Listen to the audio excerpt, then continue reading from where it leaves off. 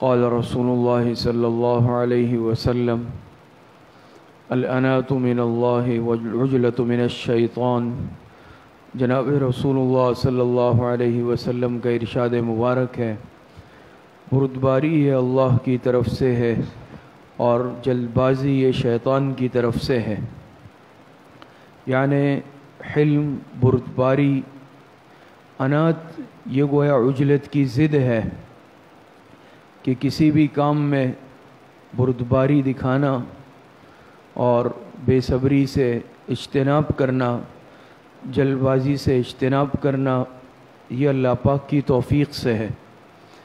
और उजलत करना, जल्दबाजी से काम लेना, ये गोया के शैतानी असर है। तो इस हदीस में ये तालीम दी गई है उम्मत को, मुसलमानों को कि किसी भी मामले में इंसान जल्दबाजी से काम न ले, कोई भी फ़ैसला जल्दबाजी की बुनियाद पर न करे, बल्कि हिल्म, बुरदबारी इख्तियार करे। और किसी भी अहम मामले में ख़ास तौर पर उजलत की वजह से, जल्दबाजी की वजह से इंसान नुकसानदेह फ़ैसले कर लेता है। तो शरीयत ने तालीम दी है कि कोई भी काम शुरू करने से पहले उसके अंजाम पर और उसके माल पर गौर कर लिया जाए और जल्दबाजी से इज्तनाब किया जाए। तो हम अपने दुनियावी बहुत सारे मामलात में देखते भी हैं, इसको भुगतते भी हैं कि बहुत सारे मामला जैसे कोई कारोबार शुरू करना है, तिजारत शुरू करनी है, कोई शादी ब्याह का रिश्तों का मामला है लेन देन के दूसरे मामला हैं।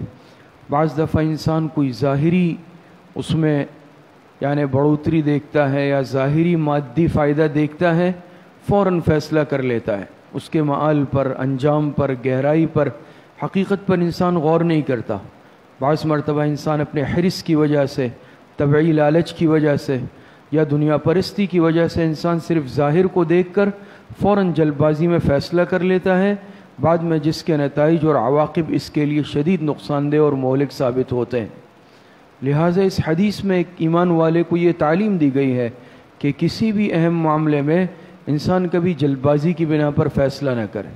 चाहे वो कोई दुनिया का, यानी मामला लेन देन का है, कोई रिश्तों वगैरह का है, तिजारत, कारोबार, शराकत का है, या किसी भी नौीयत का है, इंसान उस मामले को अच्छी तरह देख ले, उसके अवाकब और नतज और अंजाम पर गौर कर ले और जल्दबाजी की बुनियाद पर फ़ैसला न करें। दूसरी बात इसमें यह है कि वो मामला जिसका ताल्लुक़ दीन और इबादत से है उसमें इस तरह का मामला नहीं होगा, बल्कि उसमें सुरात और जल्दी जो है ये महमूद और पसंदीदा है। जैसे इबादत हो गई, नमाज़ का वक्त दाखिल हो गया, अब इसमें ताख़ीर के बजाय उजलत पसंदीदा है कि इंसान इसमें क्या कर ले, ज़्यादा ताख़ीर ना करे। नेकी का कोई भी काम है, और कुरान करीम में भी अल्लाह पाक ने फरमाया है कि नेकी के कामों की तरफ़ इंसान तेज़ी इख्तियार करे।